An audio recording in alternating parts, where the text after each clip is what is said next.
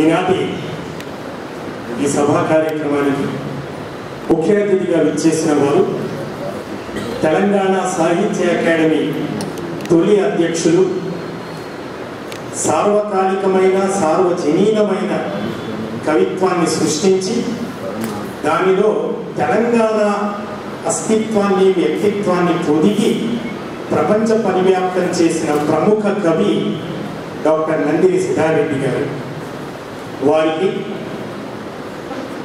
ఈరోజు మనందరి సమక్షంలో కన్నుల పండుగగా తొంభై ఏళ్ళ పుట్టినరోజు పండుగను జరుపుకుంటున్నటువంటి సాహిత్య బ్రహ్మ సాహిత్య భీష్మాచార్యులు ఎన్ని ఉపమానాలు వేసినా తప్పుడే అటువంటి పితృతుల్యులు డాక్టర్ కపిలవాయి లింగమూర్తి గారికి వేదికపై ఈ తొలి ఆ, అంకం తొలి అంకానికి అధ్యక్షత వహించినటువంటి ప్రముఖ సంస్కృత తెలుగు భాష సారస్వతలను మధించినటువంటి పండిత పరిశోధకులు పాడెం శ్రీరంగాచార్యులకి అలాగే వేదికపై ఉన్నటువంటి ప్రముఖ కవి సద్విమర్శకులు సాహితీవేత్తలు డాక్టర్ అంబటి సురేంద్రరాజు గారికి.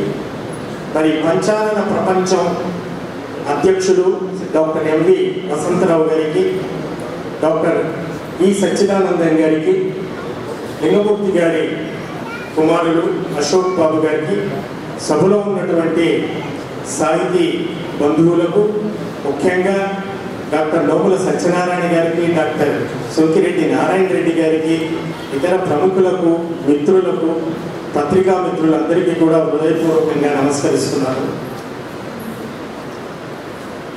కరువుకు మారుపేరుగా పేరు పడినటువంటి పాలమూరు జిల్లాలో సాహితీ తమ రచనల ద్వారా సాహిత్యపు రాజనాలను పండించినటువంటి కృషివరుడు నిత్య సాహిత్య చైతన్యశీలి డాక్టర్ కపిలవాయి లింగమూర్తి గారు. పాలమూరు మట్టి పరిమళాన్ని తన రచనలలో ఇమిడ్చి తెలుగు సాహిత్య లోకాన్ని సుసంపన్నం చేసినటువంటి తెలంగాణ సాహిత్య దిగ్గజం డాక్టర్ కపిలవాయి లింగమూర్తి గారు. శతాధిక గ్రంథాలను రచించడం సామాన్యమైన విషయం కాదు. కేవలం సాహిత్యంలో ఒక ప్రక్రియకే పరిమితం కాకుండా సాహిత్యంలో ఉన్న అన్ని రకాల సృజనాత్మక ప్రక్రియలను స్పృశించి సుసంపన్నం చేసినటువంటి గొప్ప సాహితీవేత్త కపిలవాయి లింగమూర్తి గారు మనమంతా వారిని గురించి నడిచే విజ్ఞాన సర్వస్వంగా చెప్పుకుంటాం. కేవలం సాహిత్యంలో ఒక పద్య ప్రక్రియకే పరిమితం కాలేదు. మళ్ళీ పద్య ప్రక్రియలో కూడా అనేక రకాల బంధ కవిత్వం ఉదాహరణ కవిత్వం ద్విపద కవిత్వం పద్యంలో ఉన్న ఎన్ని వైవిధ్యభరితమైనటువంటి అంశాలు ఉన్నాయో అన్ని అంశాల్లో కూడా వారు రచనలు చేసి చాలా అద్భుతమైనటువంటి సాహిత్యాన్ని తెలుగు సాహిత్య లోకానికి అందించినటువంటి గొప్ప సాహిత్యవేత్త కేవలం పద్యమే కాకుండా పదునైన పద్యంతో పాటు గంభీరమైన గద్యాన్ని కూడా రచించేటువంటి వచన రచన నిపుణులు. నాటక సాహిత్యం కథా సాహిత్యం విమర్శన పరిశోధన ఇవన్నీ ఒక ఎత్తు అయితే మనం కావ సాధారణంగా ఒక సాహితీవేత్తను కేవలం సాహిత్యానికే పరిమితం చేసుకొని మాట్లాడుకుంటూ ఉంటాం. కానీ వారు సాహిత్యేతరమైనటువంటి అంశాలను కూడా స్పృశించి అటు చరిత్ర శాసనాలు తాళపత్ర గ్రంథాలను పరిశోధించి సేకరించి వాటిని వ్యాఖ్యానాలు రచించారు. అనేక ప్రాచీన కావ్యాలకు వారు సమగ్రమైనటువంటి వ్యాఖ్యలు రచించారు. తర్వాత చరిత్ర పరిశోధనలు చేశారు స్థల పురాణాల గురించి దేవాలయాల నిర్మాణ నైపుణ్యాల గురించి తర్వాత స్థానికమైనటువంటి చరిత్రల గురించి ఇలా ఎన్నో గొప్ప గొప్ప రచనలు చేసి నిజంగా బహుముఖీనమైనటువంటి రచనలు చేసిన రచయితలలో అగ్రశ్రేణిగా నిలిచినటువంటి వారు కపిలవాయి లింగమూర్తి గారు వారు రచించినటువంటి రచనల్లో ప్రధానంగా సాలగ్రామ శాస్త్రం అనేది శాస్త్ర సంబంధమైనటువంటి రచన. మామూలుగా వ్యక్తులు ఒక రంగంలో బాగా విశేషమైన కృషి చేసి దానికే పరిమితమై దానిలోనే లబ్ధ ప్రతిష్టలు అవుతూ ఉంటారు. కానీ వారు అట్లా కాకుండా సాహిత్యేతరమైనటువంటి సాలగ్రామ శాస్త్రంలో ఆ సాలగ్రామ నిర్మాణ పద్ధతులను శాస్త్రీయమైనటువంటి అంశాలను చాలా అద్భుతంగా వారు పరిశోధించి వారు అక్షరాల్లో మనకు అందించినటువంటి వారు. అలాగే మాంగళ్య శాస్త్రం. మాంగళ్య శాస్త్రం కూడా మన సనాతన ధర్మ పద్ధతిలో ఉన్నటువంటి మాంగళ్య ధారణలో ఉన్నటువంటి అందులో ఉన్న అంతరార్థం. మాంగళ్య నిర్మాణంలో కూడా వాటి రూపురేఖలు ఎన్ని రకాలు ఏ విధంగా ఉంటుంది అని అదొక గొప్ప పరిశోధన చేశారు.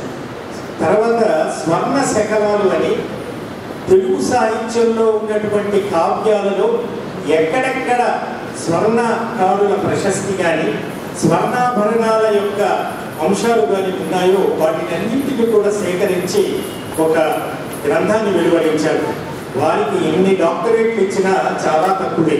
తెలుగు విశ్వవిద్యాలయం రెండు వేల పద్నాలుగులో అనుకుంటాను వారికి గౌరవ డాక్టరేట్ ప్రదానం చేయడం జరిగింది.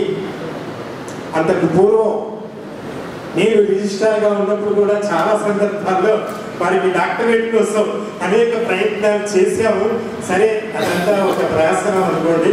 ఏది ఏమైనా వారికి చివరికి డాక్టరేట్ రావడం అనేది మాలాంటి వాళ్ళకు చాలా సంతోషాన్ని కడుపు నింపినంత ఆనందాన్ని కలిగించినటువంటి విషయం. ఆ తర్వాత వారు రచించినటువంటి దాంట్లో తెలంగాణ కవి తొట్టతొలిత అచ్చదులు కావ్యమైనటువంటి యయాతి చరిత్ర రచించినటువంటి తెలంగాణ కవి మరి పొన్నిగంటి తలగనారి యొక్క యయాతి చరిత్రకు వారు సమగ్రమైనటువంటి వ్యాఖ్యానాన్ని సమకూర్చారు. నేను తరగతిలో ఇప్పటికీ మా- మమ్మల్ని యూనివర్సిటీలో ఏవో క్లాస్కు పిలుస్తుంటారు డిస్టెన్స్ ఎడ్యుకేషన్లో. వాళ్ళకి ఎంఏ వాళ్ళకి యయాతి చరిత్ర ఉంది. ఆ పాఠం చెప్పేటప్పుడు నేను అంతకు ముందు రోజు రెండు గంటలు వారి పుస్తకాన్ని పూర్తిగా బాగా చదివి నేను వెళ్ళి క్లాస్కి చెప్తూ ఉంటాను అంత అద్భుతమైనటువంటి ఒక అరటిపండు ఒలిచి అరచేతిలో పెట్టినంత స్వాదు ఫలాన్ని అందించినంత అద్భుతంగా వారు ఏయాకి చరిత్రకు వ్యాఖ్యానం రచించినటువంటి గొప్ప పండిత విమర్శకులు అటువంటి కపిలవాయి లింగమూర్తి గారి తొంభై ఏళ్ళ పండుగను కలిగి వాళ్ళు జరుపుకోవడం చాలా ఆనందకరమైనటువంటి విషయం. వారు పంతొమ్మిది వందల ఇరవై ఎనిమిది మార్చి ముప్పై ఒకటవ తేదీన జన్మించారు. మార్చి ముప్పై ఒకటి అంటే గత వారమే. అంటే ఒక వారం తర్వాత మనం ఇవాళ ఈ కార్యక్రమాన్ని ఏర్పాటు చేసుకున్నాం ఏది ఏమైనప్పటికీ కూడా వారు మరొక పది సంవత్సరాలు కూడా ఈ విధంగానే జీవించి వంద ఏళ్ళ పండుగ కూడా మనందరి కనువిందుగా చూసుకోవాలని నేను మనస్ఫూర్తిగా కోరుకుంటూ మరి ఇటువంటి అద్భుతమైనటువంటి కార్యక్రమాన్ని ఏర్పాటు చేసిన పంచాలన పరిశోధక అని వారికి ఒక వ్యవహార నామం ఉంది. పంచాలన పరిశోధకునికి పంచాన ప్రపంచం ప్రపంచం వారు ఈరోజు ఈ నల్గొండ స్థానికంగా ఈ నేలపైన ఈ కార్యక్రమం చేయడం చాలా సముచితమైనటువంటి అంశం. ఈ కార్యక్రమ నిర్వహణ బాధ్యతలు వహించిన పంచాలన ప్రపంచం కార్యదర్శి డాక్టర్ గుల్లోజు కనకాచారి గారు నాకు చిరకాలంగా మంచి సాహితీ మిత్రులు. వారికి వారి శ్రీమతి గారికి ఇతర నిర్వాహకులందరికీ కూడా హృదయపూర్వకంగా నమస్కరిస్తూ తర్వాత కార్యక్రమం.